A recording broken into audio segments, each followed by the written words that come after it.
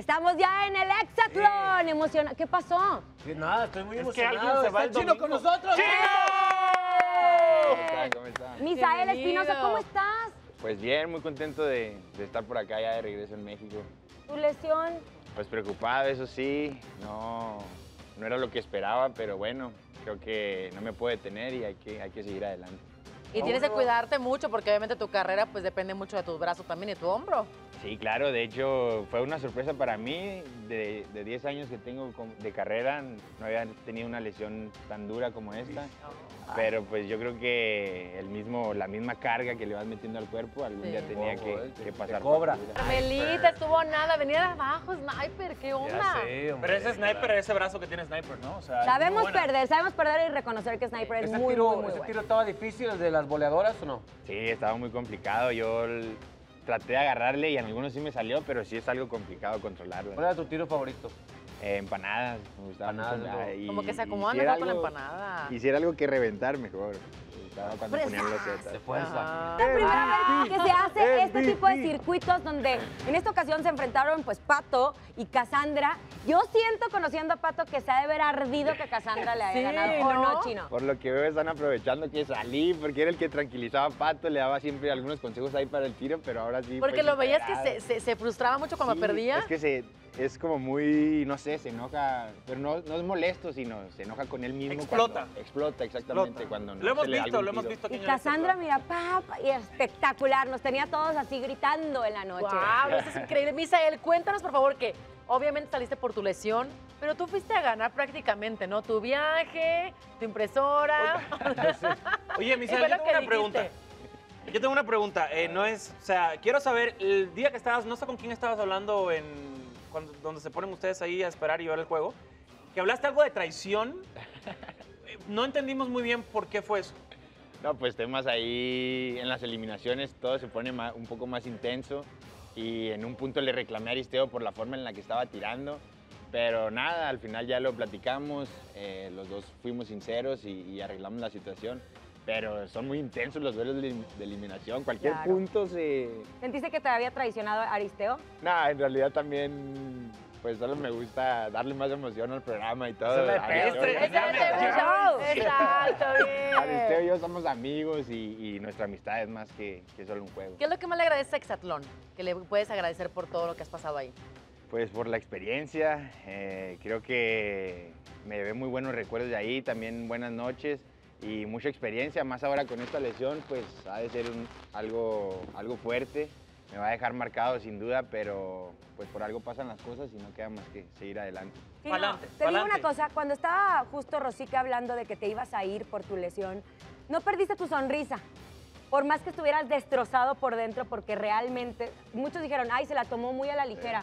No, sí estabas destrozado. ¿Pero Claro. qué, qué te queda otra? Pues sí. Sonreír. Sí, pues este, ya, ya el daño estaba hecho, de hecho ya desde hace una semana las cosas ya no estaban bien y, y no sabía también a ciencia cierta el resultado, entonces yo pensaba que era algo más, más ligero y todo, pero bueno, ya las cosas están así y no queda más que seguir adelante. Bueno, ¿en qué- ahora- ¿En qué momento fue tu lesión? Porque eh, estamos revisando los videos, el equipo de contenidos, y no encontramos el momento exacto en que ocurrió tu lesión. ¿En qué momento Fue, fue en el circuito de lodo, en, en la última rastrera. De hecho, el circuito de lodo es muy pesado y, y no parece tan difícil, pero en realidad es muy difícil a la hora de, de pasarlo. También más con la presión de que tu rival va enfrente, eso te hace hacer los movimientos pues, más rápido y, y los boxeadores no estamos acostumbrados a andar en rastreras o a hacer ese tipo de movimientos. Y creo que también la carga que traía en el cuerpo, pues todo derivó a, a esa lesión. ¿Quién va a ganar? Bueno, pues yo quiero que Primero se queden hombres. los rojos. De los Este, rojos, claro, sí, los rojos, sí. vamos. Yo sigo viendo a Aristeo muy fuerte. Creo que aparte practica bastante ahí en los tiros. También vi muy. En las últimas semanas Pato empezó a subir su nivel Sí. muchísimo. Pero pues también los azules ninguno quiere perder. Yomi, Javi también son, son muy buenos en, en los circuitos, ¿De muy morras? rápidos.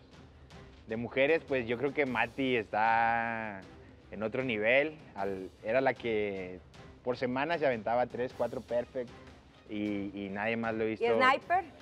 Sniper sí, sí es muy buena, pero se la lleva en los circuitos todavía Mati. Creo que le saca- Oye, no, no te vas.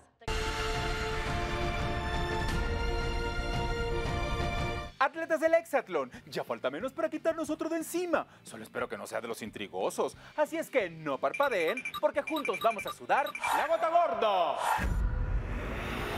Oigan, ¿alguien de casualidad ha visto al chino? No es que yo sea un cuentachiles, pero es que mis dioses del Hexatron en esta ocasión me mandaron a buscarlo, a ver si nos regresa lo que se llevó.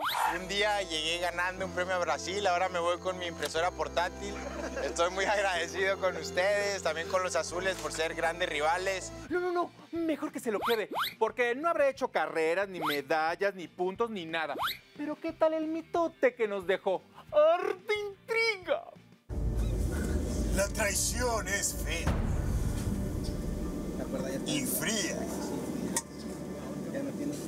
Pero se comprende porque es un juego.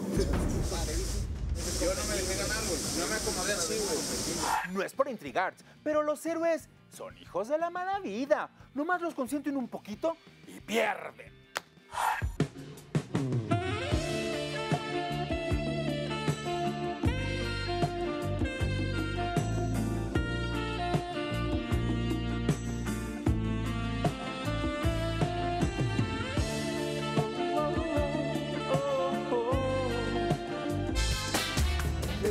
¡Esto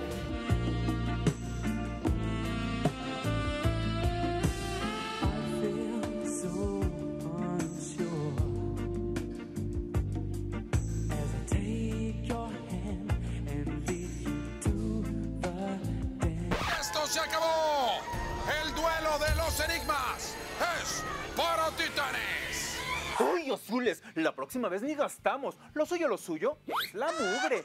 Aunque el que sí nos ha salido caro, carísimo, es la máxima autoridad Rosique, con sus clases particulares de lenguas misteriosas. Aunque el único que le entiende es Aristeo.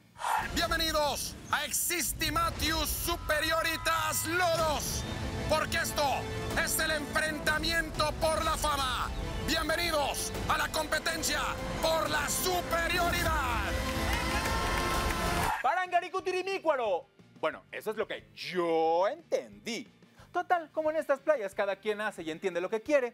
Como Aristeo, que aquí entre nos creo que tiene futuro en las pasarelas. Corto, corto, largo, largo. El equipo de Titanes ha elegido un sustituto para reanudar la carrera justo en el lugar donde Mau Wow se golpeó y es Aristeo Cázares. Mm, ya te vi. Si no ganas Hexatlón, vas a ser el aguileón de las pasarelas. Atletas, nos vemos el domingo. ¿No? ¿Y tú no aprendiste? Soy Martín Farfán y cuidadito porque mi hacha cortacabezas trae harto filo.